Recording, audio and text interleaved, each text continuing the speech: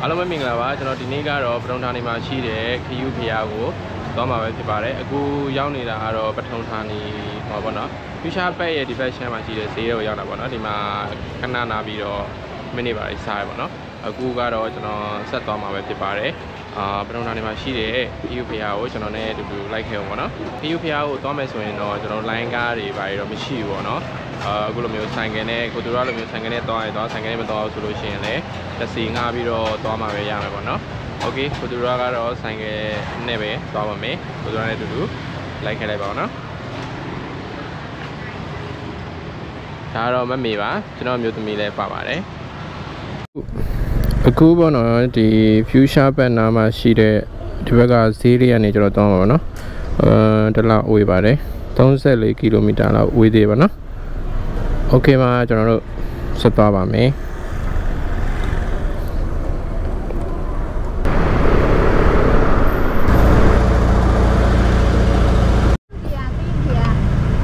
ခရုခရုတဖူးမယ်လေ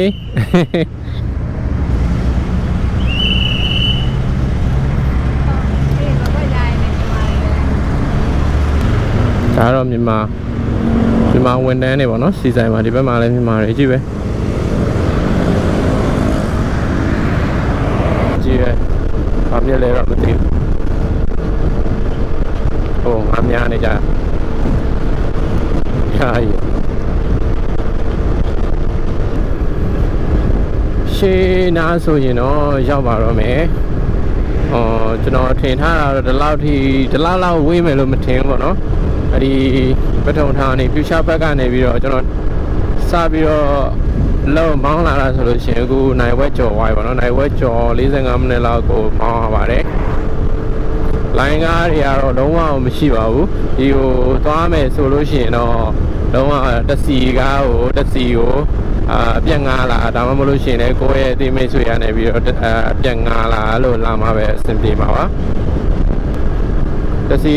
ဟိုကြတော့လေတခါတည်းအသွားပြန်လို့မျိုးငားမှအဆင်ပြေမယ်လို့ထင်တယ်ပေါ့နော်တကယ်လို့တော့အသွားပဲငားလာပြီးတော့အပြန်ကြရင်တစီမရှိဘူးဆိုလို့ရှိရင်လည်းပြန်ဖို့ခက်မယ်ပေါ့နော်โอเคကျွန်တော်တို့ရောက်လာပါပြီဒါကတော့ကျွန်တော်တို့ခ ယုဘုရားကျောင်းကိုသွားတဲ့အဝင်လမ်းပဲဖြစ်ပါတယ်။ခဲ့ကျွန်တော်စပြီးတော့ဘုရားစေတီတွေကိုတွေ့ရပြီပေါ့နော်။ခုကတော့ဘုရားကိုကျွန်တော်ရောက်လာပါပြီ။အာခုဒီမြင်မြင်ချင်းရှေ့မှာဆိုလို့ရှိရင်တော့ဒီခယူစေတီနှစ်စုကိုတွေ့ရတယ်ပေါ့နော်။နှစ်စုရဲ့ဒီရှေ့မှာကကျတော့ကွင်းပြင်အဲကွင်းပုံစံလေးရှိတယ်။အဲ့ဒီမှာကျတော့သူတို့ ဈေးဆိုင်တွေအခုလောလောဆယ်ကတော့ဈေးဆိုင်တွေစခင်းနေတယ်အားလုံးတော့မပြီးသေးဘူးเนาะဒီမှာနောက်မှခင်းနေကြတယ်အရင်ဆုံးကျွန်တော်တို့ဒီဈေးတွေနဲ့စုကိုအရင်ဆုံးဖူးမယ်လေ့လာကြည့်မယ်ပြီးတဲ့ခါကျရင်တော့ဟိုဘက်မှာရေကန်ရှိတယ်ပြီးလို့ရှိရင်ဟိုနောက်ထပ်အစ်စ်တဲနေတဲ့ဒီ queue ဈေးတွေလည်းရှိတယ်ပေါ့เนาะပြီးတော့မှအဲ့ဒီဘက်ကိုသွားကြပါမယ်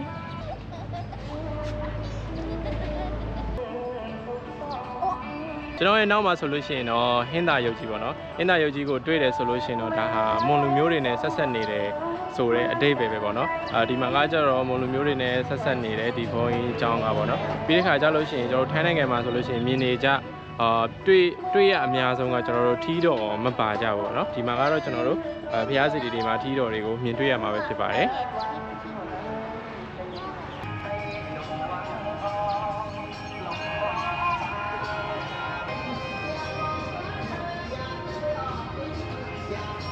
โอเคပါအခုကျွန်တော်ဒီဟာ sorry ဖယားနာကိုရောက်လာပြီပေါ့နော်ဖယားမှာဆိုလို့ရှိရင်တကယ်ခယူးတွေလုံးဝခယူးတွေနဲ့ကြီးလောက်ထားတယ်ပြီးလို့ရှိရင်ဗာထူးခြားတာတွေ့လဲဆိုတော့ဒီမှာရေးထားတဲ့ဒီအလှရှင်တွေရဲ့အမိတွေကကျတော့ကျွန်တော်တို့မွန်ဘာသာနဲ့ဖြစ်မယ်ဗျကျွန်တော်တို့မဖတ်တတ်ဘူးပေါ့နော်အာမွန်ဘာသာနဲ့ရေးထားတယ်လို့ထင်တယ်ပေါ့နော်အာကျွန်တော်တခုပြကြည့်မယ်တကယ်လို့မွန်ဘာသာစကားကိုဖတ်တတ်တဲ့သူရှိတယ်ဆိုလို့ရှိရင်ဗာရေးထားလဲဆိုတာတော့တစ်ချက်လောက်ကျွန်တော်ရေးသွားပေးပါနော် comment မှာ ဒီမှာပေါ့နော်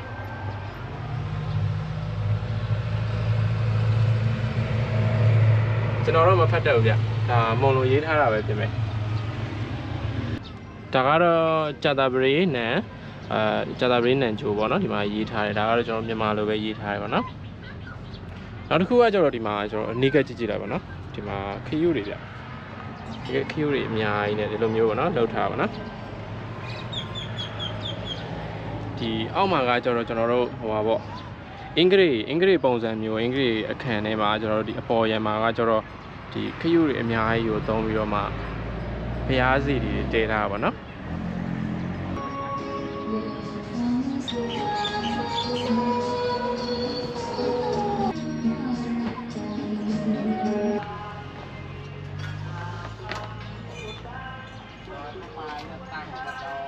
ဒီမှာဆိုလို့ရှိရင်လည်းဇေဒီငယ်လေးတစ်ဆူရှိရပါတော့။မွန်ရိုးရာဝတ်ဆောင်လေးတွေဝတ်ပြီးတော့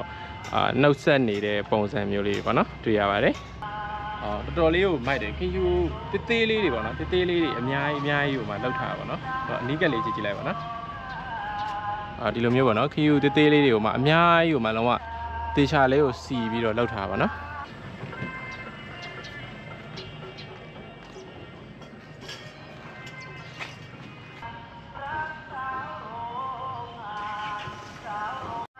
ဒီဘက်မှာလည်းစီဒီနောက်ထပ်တစ်စုပေါ့နော်ကျွန်တော်တို့ဆော့ဆော့သွားခဲ့တာတော့ဒီရှေ့မှာမြင်တွေ့ရတဲ့စီဒီအာဒီဘက်မှာဆိုလို့ရှိရင်လည်းစီဒီနောက်ထပ်တစ်စုရှိတယ်ပေါ့နော်ကြောက်ဖြည့်ရုပ်ကျွင်းပုံစံမျိုးပေါ့နော်ခေယူတွေကကြောက်ဖြည့်ရုပ်ကျွင်းအဲအဲ့ဒီလိုမျိုးခေယူတွေပေါ့နော်အများကြီးကိုဒီလိုမျိုးဖျားစီဒီတွေပြတည်ထားတယ်ကျွန်တော်တို့ထီတော့ပါမယ်ပေါ့နော်ဒီဘက်မှာဆိုလို့ရှိရင်လည်းအရန်စီဒီတွေပါရှိတယ်ပေါ့နော်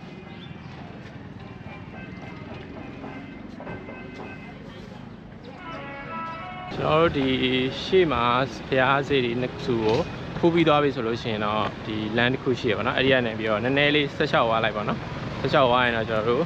ရေကန်ကြီးရယ်ပြီးလို့ရှိရင်အဲနောက်ထပ်ဆောက်လက်စပါတော့အဲ Q စေတီအကြီးတစ်ခုရှိပါတယ်အဲဒီဘက်ကိုရောက်မှာပါနော်ဒီဘုန်းကြီးကျောင်းကိုကျတော့အာလူ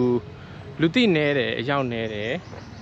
အဲဒါပေမဲ့ပေါ့နော်လုံးဝ အေးအေးချမ်းချမ်းနဲ့အဲ့လိုမျိုးတိတ်တိတ်ဆိတ်ဆိတ်သဘောကျတဲ့သူတွေအတွက်ဆိုလို့ရှိရင်တော့အာအဆင်ပြေတယ်တော်တော်လေးမိုက်တယ်ပေါ့နော်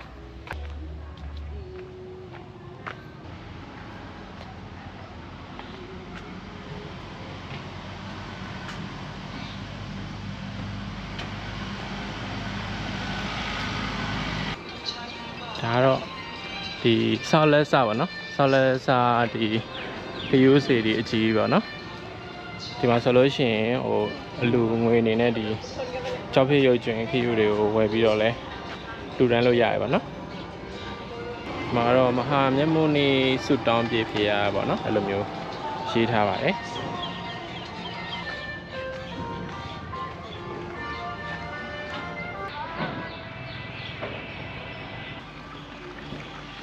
ဒီဘုရားကျောင်းဝင်းကြီးကိုတော့ထိုင်းလို့ခေါ်မယ်ဆိုလို့ရှိရင် Wet JD Way လို့ခေါ်ပါတယ်ဒီခရုဖရားရဲ့လို့နာမည်တွင်လာခြင်းရဲ့တမိုင်းအချင်းကျုပ်လေးကိုတိတိလောက်ကျွန်တော်ပြောရရင်တော့ကျောင်းနိုင်ဆရာတော်ဘုရားကြီးကဆိုလို့ရှိရင်မြန်မာပြည်ကိုတွားရောက်ခဲ့ပူတယ်အဲဒီလိုနဲ့မြန်မာပြည်ကနေပြန်ရောက်လာပြီးတဲ့နောက်မှာတော့ဒီ ဘုရားကျောင်းဝင်းထဲမှာဒီရေကန်ကြီးတစ်ခုကိုတူးဖော်ခဲ့တယ်ပေါ့နော်ဒီရေကန်ကြီးကိုတူးဖော်တဲ့အခါမှာကျတော့ကြောက်ဖြစ်ရုပ်ကျွင်းပြဖြစ်နေတဲ့ခယူးမျိုးစိတ်အများကြီးရယ်ပြီးလို့ရှိရင်ထူးဆန်းတဲ့တရဝါတွေရဲ့အယိုးအယိုးစုတွေဒီမုံလူမျိုးတွေနဲ့ဆက်ဆက်မှုရှိရှိနေနိုင်တဲ့ဒီ